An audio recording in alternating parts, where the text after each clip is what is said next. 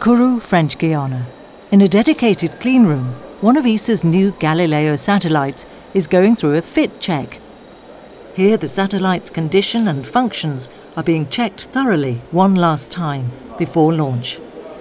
Together with three of its brothers, this satellite will be sent into orbit on top of an Ariane 5 launcher.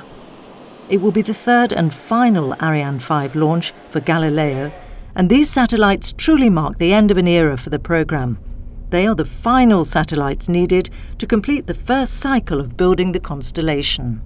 With this launch, we will have a, a complete uh, constellation for operational purposes, but yet without the necessary reserve satellites, which are essential if, uh, if ever something goes wrong, that we have, of course, backups.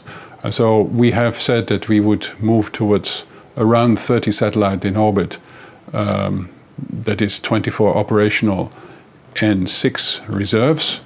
This uh, amount uh, will be reached. We may sometimes be under that. Uh, we may sometimes, after a launch, be over it. So this is a figure which fluctuates a bit. The important number is that we need 24 satellites for operational purposes functioning at any one time.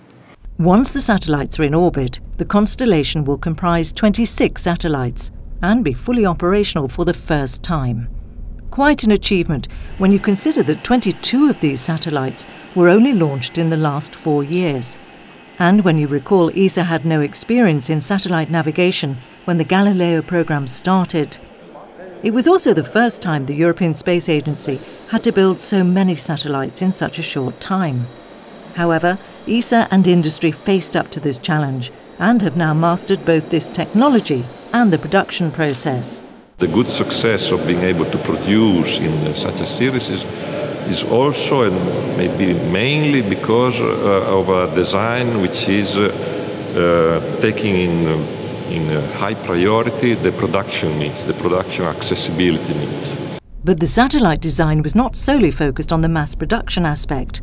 The quality of the navigation signal and of the services are key to the success of Galileo.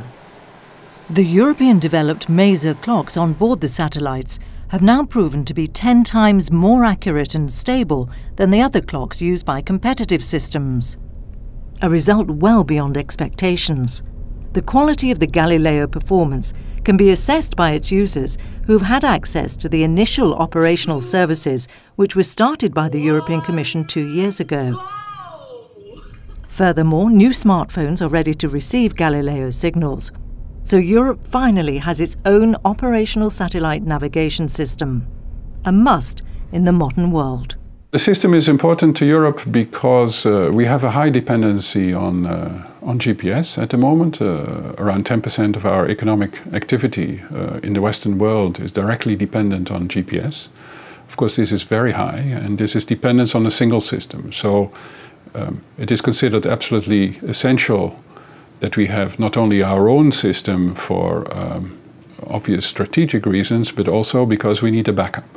In the years to come, more satellites will join the constellation as spares or replacements.